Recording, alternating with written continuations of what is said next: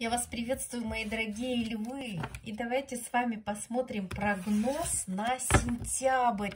Сентябрь 2021 года. Прогноз от э, меня, от Галины. Прогноз Таро.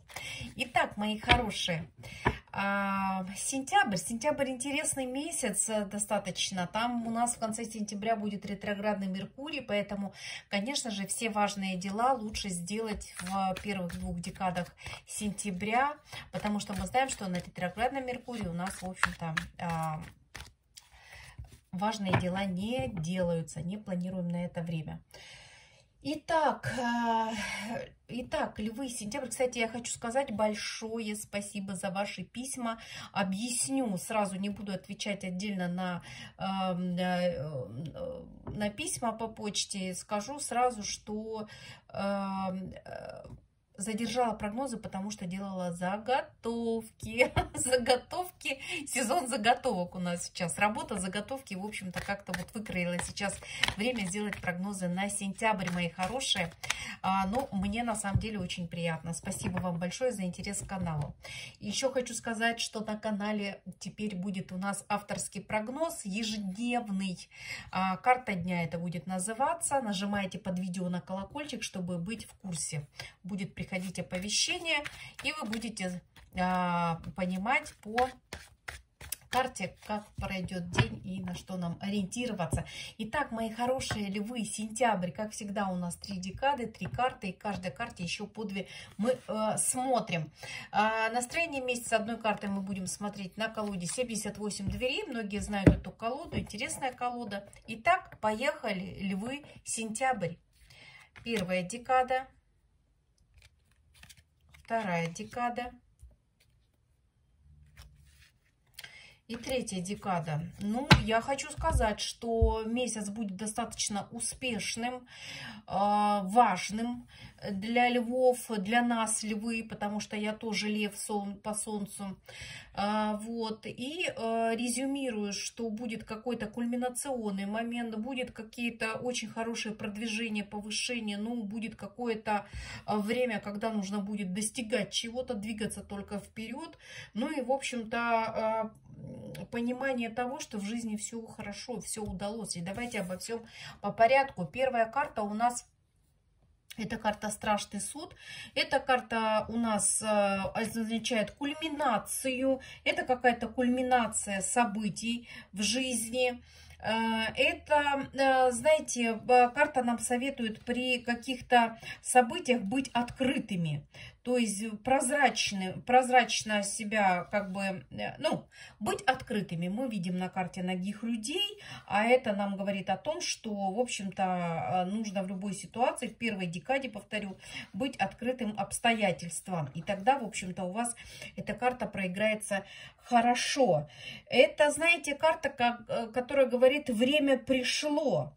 То есть э, это решение каких-то застарелых проблем. Повторю, это кульминация какая-то. Это вот, может быть, вы услышите, кстати, какую-то хорошую новость, какое-то известие для, для себя услышите. Это тоже об этом говорит. Мы видим, что здесь у нас а, такой ангел с... А, и он на этой карте он не трубит. Вообще на других колодах изображено ангел трубит. То есть какое-то известие, услышать что-то. Это так, решение старых проблем, как я уже сказала, да. И эта карта нам говорит о том, что нужно принять решение.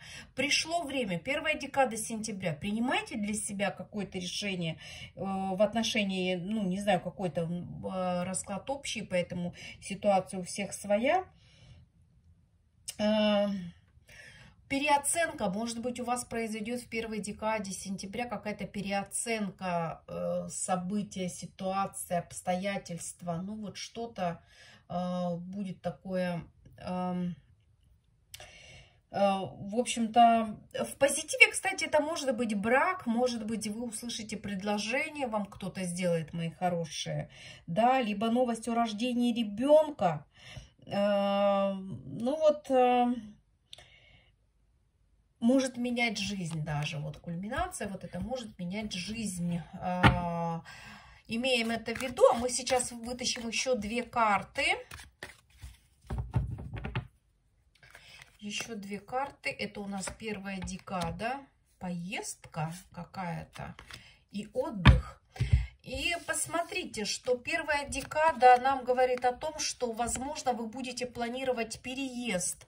А, возможно, вы будете планировать поездку в отпуск, командировку, поездку к родственникам, вынужденную, может быть, даже поездку, да. А, может быть, переезд на новое место жительства уже будете осуществлять, либо вот разговаривать о нем, да, как-то уже, уже какие-то будут действия предприняты.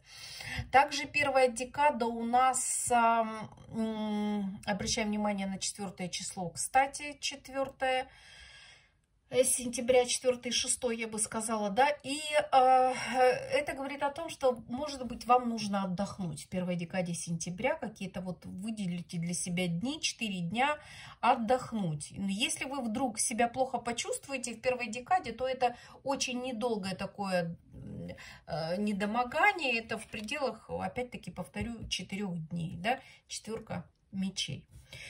А, вторая декада. Вторая декада, посмотрите, какая интересная карта. Это у нас а, колесница.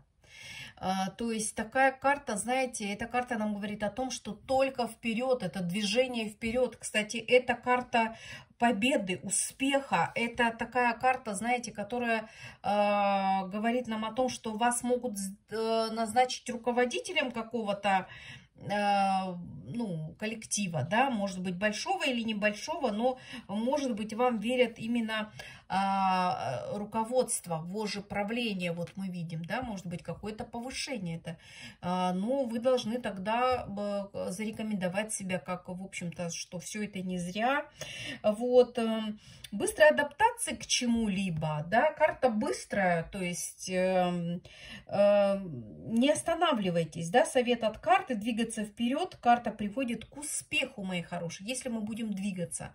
Если, вы знаете, вот по этой карте как раз-таки нельзя останавливаться, нельзя останавливаться даже для того, чтобы подумать, что вам сделать, потому что, э, я повторю, покажу вторую сторону Вечеверса, да, мы видим э, дорога, которая э, в общем, бездну можно попасть, если вы остановитесь. То есть, если вы не будете двигаться вперед, вы, возможно, не скоро еще сможете э, оказаться на том уровне, когда, э, в общем-то, будет, будет маячить перед вами вот какой-то такой грандиозный успех и продвижение, так можно сказать. Ну, это э, расклад общий, э, не индивидуальный, поэтому, ну, в рамках общего расклада вот э, то, что говорю. А, давайте мы сейчас еще две карты вытащим, посмотрим. Ой, сразу две, две, сразу две. И, значит, смотрите, что у нас? Работа, да. Э, продвижение по работе, видимо, у многих будет. И я хочу сказать, что э, работы будет много. Работать будет, возможно, тяжело, но э, нужно распределить работу, чтобы не было так тяжело. Продумывайте, как вам распределить. Э, не взваливайте на себя много, дабы не надорваться. Э, вот такой совет от Таро. А, четверка динариев, это говорит о том, что будут какие-то деньги, вам придут деньги, видимо, через работу, через повышение. Ну, конечно же, ключевая карта все-таки у нас это старший аркан, а, колесница, где, в общем-то, вы можете получить повышение. Не забывайте об этом, это у нас была вторая декада и третья декада. Третья декада, мои дорогие львы, у нас а, девятка кубков. Это карта, когда у нас в жизни жизни все хорошо. По этой карте мы, а, знаете, как такое ощущение, вот когда садишься и думаешь, как у тебя все хорошо сейчас в жизни в данном периоде, да, и на всех фронтах, и здоровье, и достаток, э, и, в общем-то, какие-то проблемы решены. Ну, вот э, замечательная карта. А, тут не, не, не взять, не добавить, в общем-то, когда карта такой, как индикатор того, что в жизни все удалось. И давайте мы к ней все-таки еще две карты вытащим. Так. Жезлы, жезлы, будет быстро что-то меняться, будет... Э, мужчина огненной стихии, возможно, сыграет какую-то важную роль в третьей декаде э, для вас, мои дорогие львы, хотя вы тоже огненная стихия. Это получается у нас огненная стихия, это Овен, Лев, Стрелец, какой-то мужчина. Возможно, мои дорогие девочки, девушки, дамы, э, женщины, которые ждут знакомства, возможно, вы встретите человека для себя, да, такого а, порывистого, страстного. И, в общем-то, может быть, вы познакомитесь для дальнейшего, скажем так, для дальнейшего создания пары. Так может случиться. Может быть, это человек по работе, может, у вас руководитель ваш, либо коллега ваш тоже сыграет какую-то а, свою, внесет лепту в третью декаду сентября для вас положительную. Ну и семерка, семерка жезлов, это тоже, знаете, такая карта когда мы чего-то достигаем, когда мы становимся на определенную ступенечку, поднимаемся, пусть небольшую, но тем не менее. Вот посмотрите, вся линия сентября у вас идет повышение, кульминация, продвижение, продвижение, много работы, ну и какие-то небольшие, ну все-таки деньги здесь есть, ну небольшие, скажем так, повторю. Вот, так что, мои хорошие львы, я рада, что сентябрь для нас проходит замечательно. А, мне нравится то, что я вижу. Вот, ну и давайте будем отыгрывать в сентябре все, что мы услышали, увидели. И а сейчас посмотрим все-таки настроение месяца одной картой а, на колоде 78 дверей. Что же нам скажет эта колода для львов сентябрь? Ох, туз жезлов, мои хорошие. Это такая карта, знаете, это победа, это триумф, это очень быстрое достижение каких-то целей. В общем-то, начало чего-то грандиозного. То есть э, мы, смотрите, в сентябре можно что-то начинать для себя очень такое значимое. Кстати, у нас 7 числа новолуние, и а, новолуние для львов тоже очень-очень такое хорошее, прогрессивное, поэтому очень хорошо что-то начинать. Там можно заработать э, денег хороших. Поэтому, мои хорошие, у нас замечательный месяц, мои дорогие львы. С чем я вас и поздравляю.